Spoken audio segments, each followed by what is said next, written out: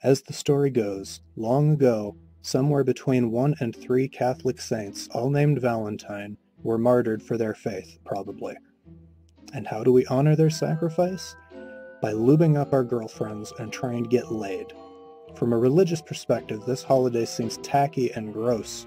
Of course, the problems don't stop there. This unabashed consumerist celebration pushed on us by the greeting card industry almost seems engineered to make people feel bad. People in relationships are pressured to perform, which is emotionally and financially stressful and also saps any spontaneity out of it. Meanwhile, single people get to stand in the corner and feel lonely and depressed. The price of red roses skyrockets along with CO2 emissions and waste from gold mining.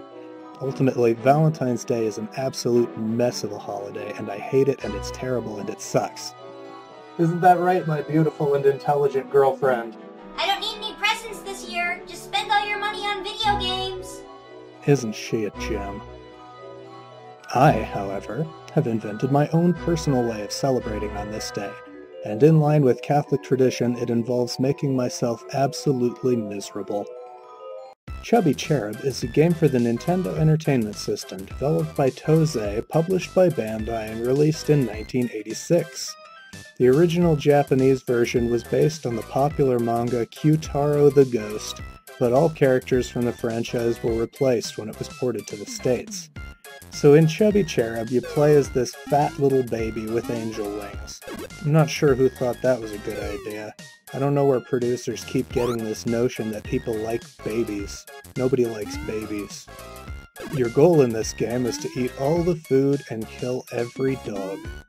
You attack with something called the Gao Gao Beam, which is just throwing pink hearts at the enemies. And by enemies, I mean somebody's dog. You had me at Halo.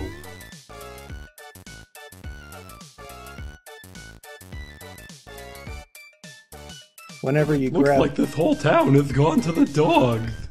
Whenever you grab food, Chubby just unhinges his jaw like a serpent and swallows it whole.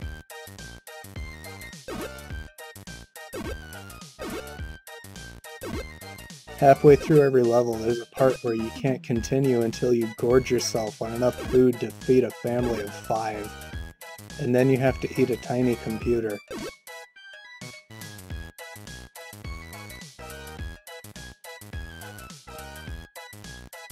Hey look, a jelly donut. Chubby Cherub. Whoa, did that letter B just come out of my mouth? Gee, I gotta go see a doctor. Chubby Cherub can fly. I actually didn't find that out until I'd been playing for years. These old games really expect you to keep the instruction manual forever. The play control in this game is awful, by the way, which is strange for a game that lets you fly. But you have a flight meter that runs down even when you're not flying.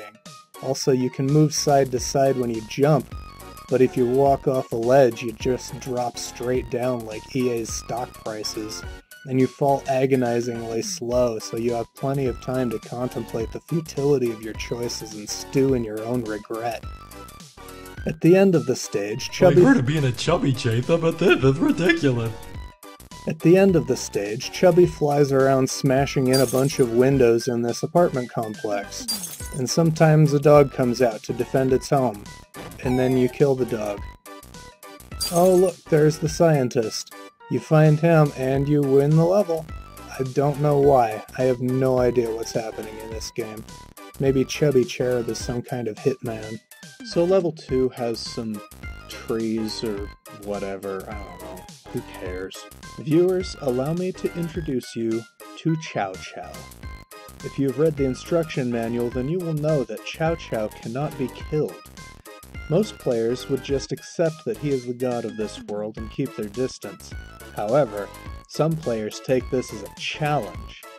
As it turns out, every day at exactly noon, Chow Chow will walk under the castle gate, and it's possible to double click a gold plaque on the gate, causing it to fall on him.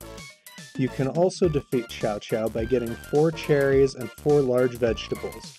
When Chow Chow is after you, getting the fifth large vegetable gives you a clock to stop time. Then you can get a fifth cherry, which lets you get a superstar to make you invincible. Hey, be sure to wash your hands after you touch that pea. Why hasn't PETA made a parody of this game? These houses Hey, you think that? My bark is worse than my bite. these houses seem to have fallen into a sinkhole. I wonder what's down there. Oh god, I've descended into hell. This is even worse than that time I played Baby Boomer. What's Mr. Popo doing here? Chubby Cherub has ascended to heaven, and it's full of cake. I haven't eaten this much cake since I played Bio Miracle Bokutte Upa. Hey, what is that? Angel food cake? Later on in the game, you get to this level where you're in an upside down mansion. That's kinda neat. In level 12, the final level, you've collected all three sacred treasures and have access to their powers. Now it's time to fight the final boss of Chubby Cherub, the devil himself. And naturally, the devil is a dog. Whew, I did it. With Satan defeated, all that's left is to watch the ending.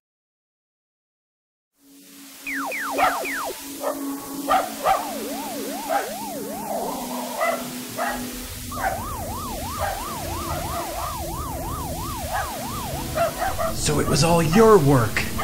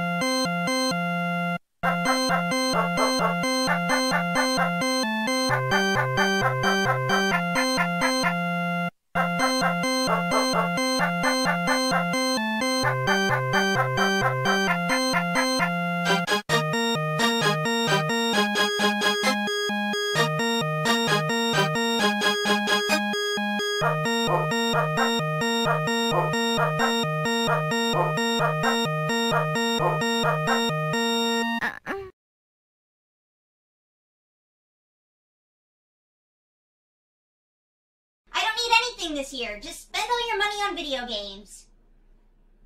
For me. Video games for me.